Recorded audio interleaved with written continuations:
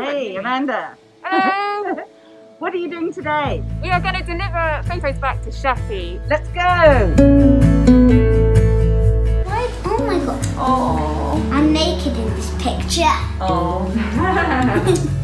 so for years and years, my photos, dating back to probably the 1940s with my grandparents, have been in a jumbled heap. That turquoise 70s sofa.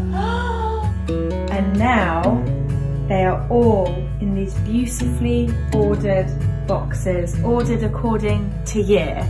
Mm, are you fighting? That's not fighting, I think I'm just killing him. Boy, who's that person in the wedding dress? He looks pretty. Mm, she's my auntie. And if I lift this up, this is,